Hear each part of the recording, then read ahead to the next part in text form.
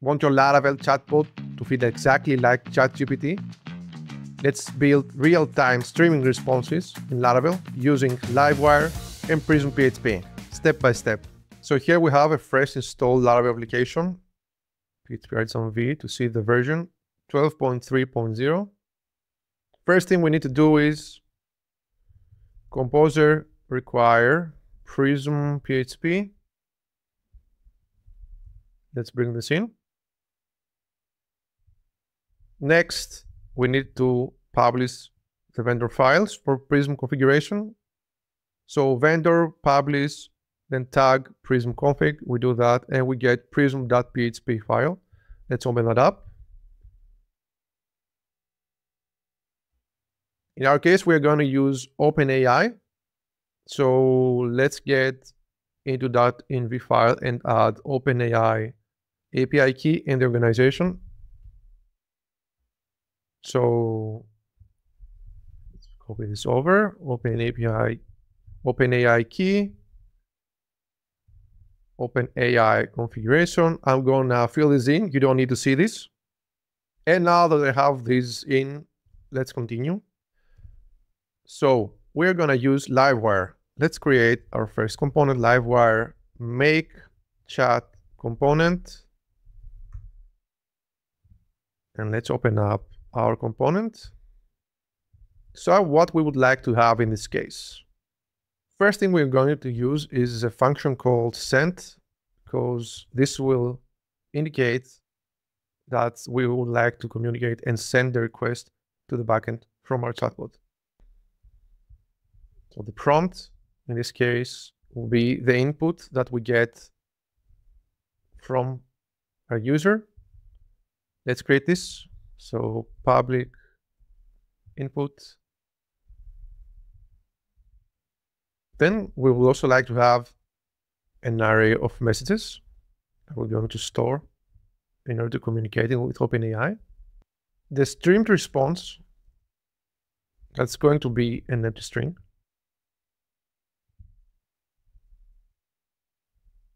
And an indication that our AI is typing. So we'll name this is typing. We keep this to false as a default. So now let's go ahead and add the first messages here.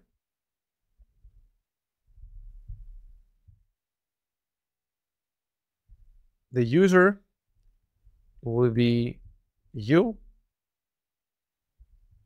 and the text is going to be whatever it is in the prompt. So we can now reset our input because we don't want it to have any data anymore. And then we should also indicate that our AI would start typing. Now let's dispatch an event telling our browser that we need to scroll to bottom. And now for me to make this work, I need to dispatch another event which will indicate that the streaming should start, right? And I call that um, get AI response, and I was passing up the prompt that the user gave us. So let's go ahead and create a new function called get AI response. And let's indicate that we need this to trigger on get AI response. Let's import that. So whenever we dispatch the get AI response passing the prompt, this function will get called because we get the dispatched event here. We can have the prompt. And now what should we do in this case? Um, the first thing we would like to have is store stream from Prism. So Let's use Prism, import that text using OpenAI, and specifically we're going to use GPT-4 with prompt, the prompt that the user gave us. And last but not least, we need to use the asStream method.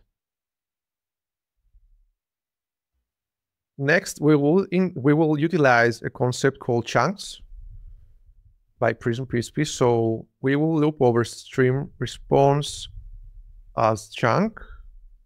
So each chunk essentially will have some kind of data. Let's say that the first chunk is going to be empty. The second chunk is going to be the first word, then two words, the first and the second word, then the next chunk, three words, first, second, and third word, and it goes on. So we would like to store all of these in the streamed response we had earlier. And we are going to keep adding them there until we finalize our our um, our loop in this case. So this stream response, and we will get the text from the chunk. The reason why we need this is in order to have the full stream response added in one property. So once we're done with that, we can also we will also now use Livewire's stream function. We will call it response.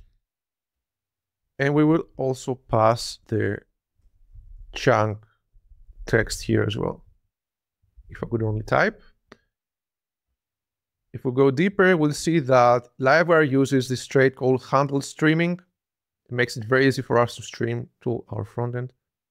Just have to indicate where it streams to and pass the content. So we'll use this in this case. Next, we will have our messages as well.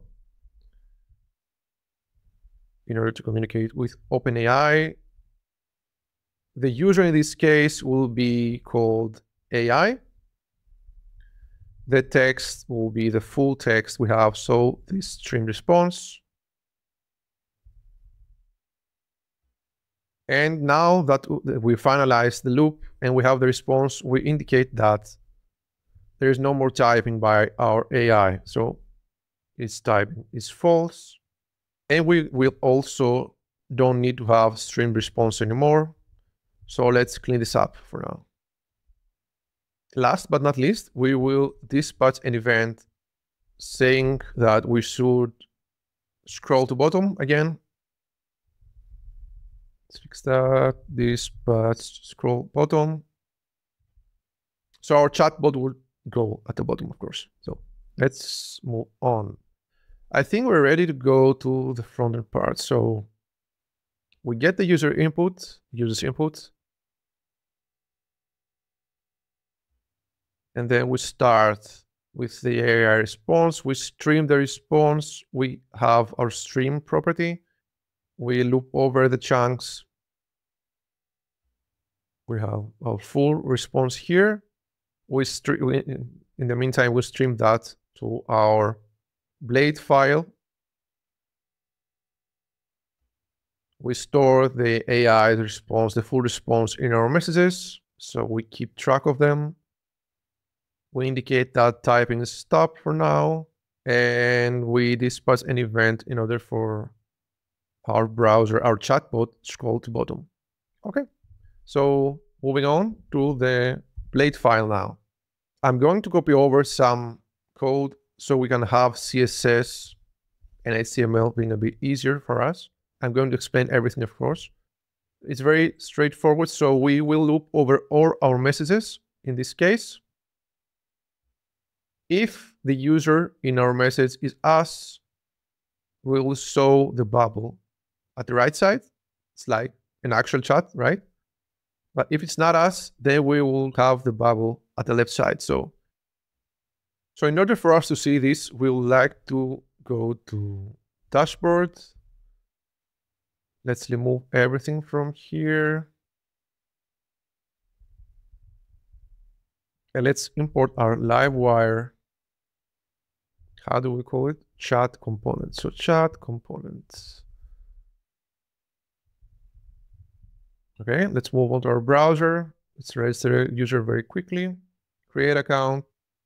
We are in, we don't see the CSS very well in this case. So let's go in our terminal, npm run dev, refresh, okay, and we have the chatbot ready. It's very, very basic, of course, just to showcase what we do here. So we have a basic input that the user will ask something, a button, in order to send a response. So let's try to ask something. What is the weather like today in Athens, Greece? Hey, and you can see that we got a response string back to us. So on the right side, we have the user input. On the left side, we have the AI's input.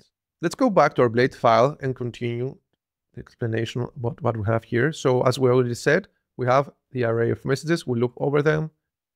This is mostly about the UI side. Here we check if we indicate that the AI is typing. We use wire stream. We call this response. As you remember, we have this here. So we stream to response. We pass the chunk of text. And here we have a basic input for the user, which is going to use wire model defer. We store this in the input property. We have a button with type submit and the form that submits to the function called send. So we call the function send and everything goes smoothly. And there you have it, a Laravel AI chatbot using Laravel Wire and Prism PHP in order to stream back the responses to us. If you like this video, give it a thumbs up and subscribe for more Laravel focused content in the future. See you in the next one.